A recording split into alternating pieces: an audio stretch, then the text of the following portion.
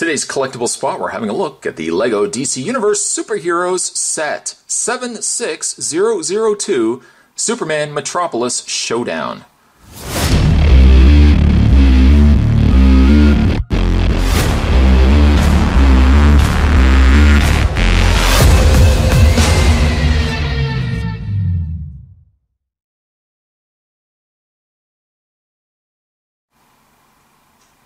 Depicting the toys from the new Man of Steel uh, movie coming out very, very soon, actually.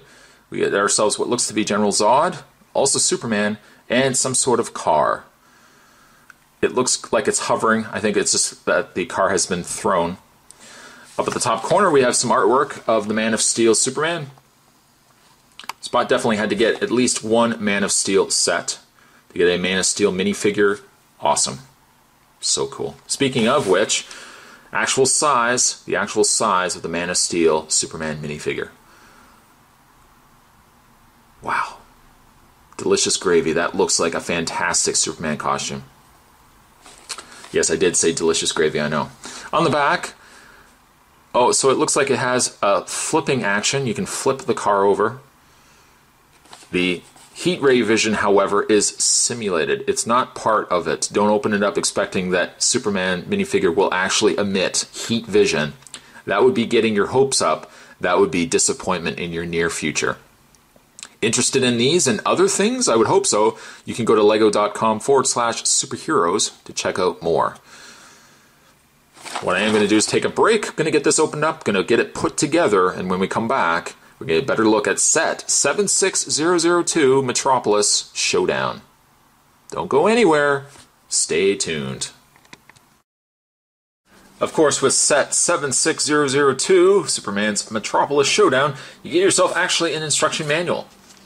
Correction, you get yourself two instruction manuals. Instruction Manual 1, Instruction Manual 2. Make sure you go with the first one, or you might do what Spot's done on several occasions with Lego. He starts going halfway through the booklet and then realizes, I don't know where I am. What am I doing? Oh, right.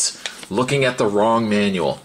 It's a small set. I'm surprised you actually get two manuals, but do hold on to these for future reference. If you ever take these apart and you want to put these back together, manuals are key.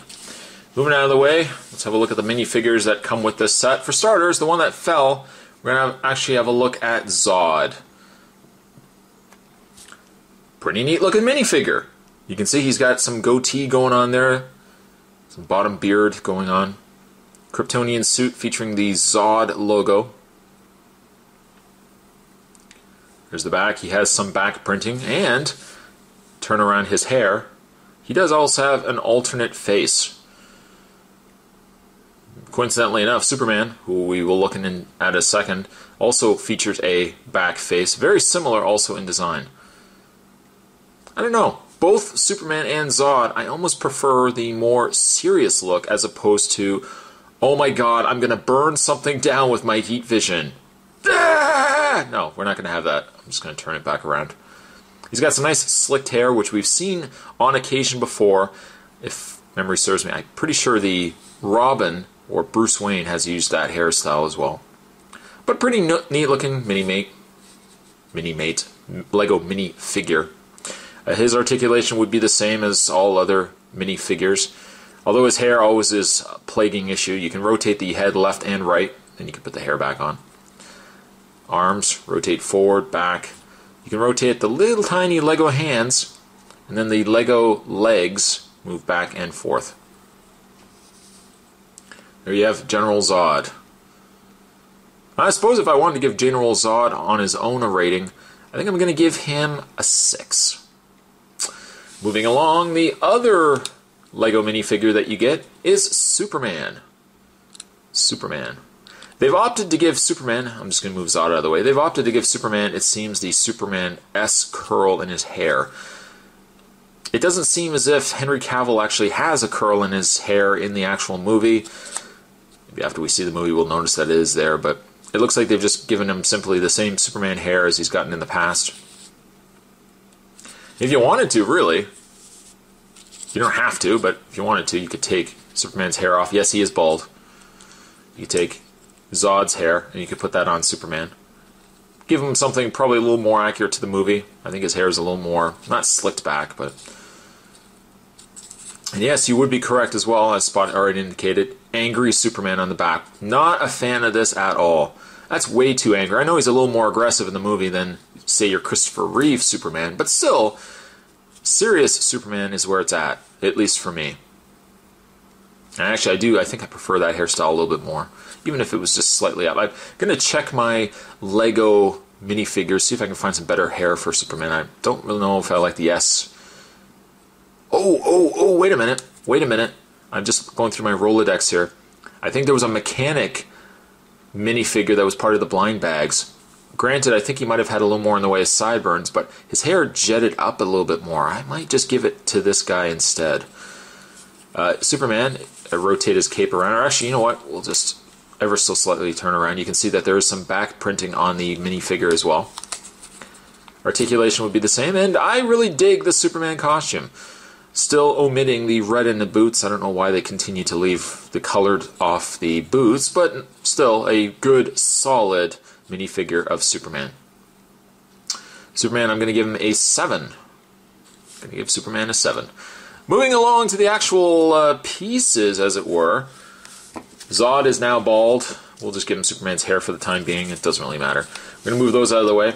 Looking at the actual pieces, for starters, you get yourself a car.